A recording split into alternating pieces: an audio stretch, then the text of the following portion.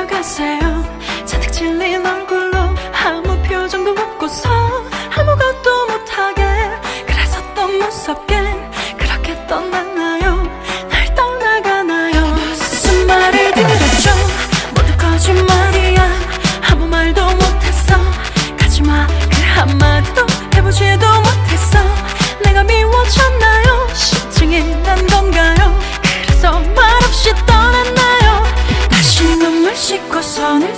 나도 그냥 끝났다고 그 한마디.